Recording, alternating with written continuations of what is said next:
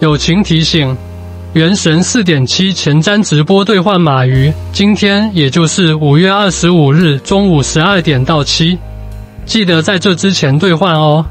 和之前前瞻一样，一共有三个兑换码，共计三零零原石。第一个兑换码，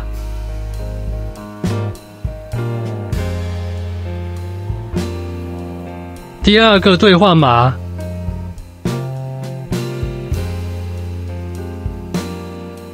第三个兑换码，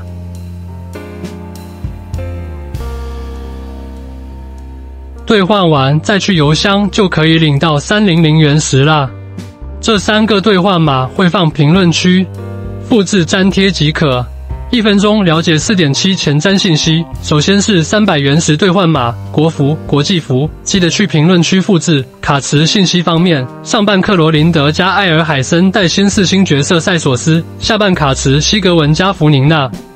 克罗林德是五星雷系单手剑的输出角色，西格文是五星水系弓箭的治疗角色。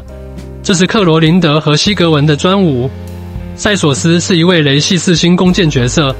剧情方面，开放新的魔神任务睡前故事和克罗林德加西格文的传说任务。四点七版本将开放新深渊幻想真境巨狮与老深渊交替更新，同时老深渊更新调整为一个月一次，每次奖励原石由六百上调至八百。活动方面，大活动安固诸方之素眼类似塔防自走棋玩法，完成可获取活动限定四星武器。同时还有打怪类小活动，分辨凡象好舞弹；收集金币类小活动，一丝阵笔集；打气球类小活动，飞蹦湍流二重奏以及地脉遗勇。优化方面，体力上限由原来的一百六十增加至两百点，好友上限增加至一百个，剩遗物也可以快速装备了。联动消息方面，即将与安踏和开封菜进行联动。最后，七圣召唤迎来海量个。